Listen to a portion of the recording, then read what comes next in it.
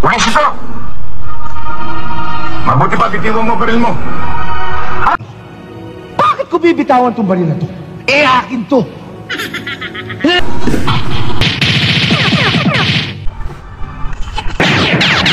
Kuitis,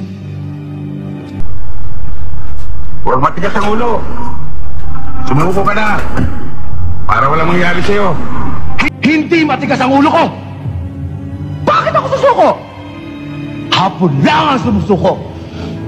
Yeah!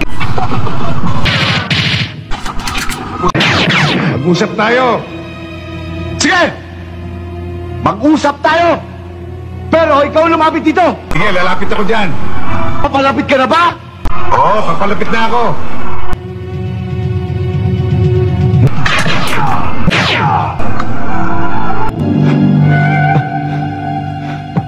Ba't mo ako binaril?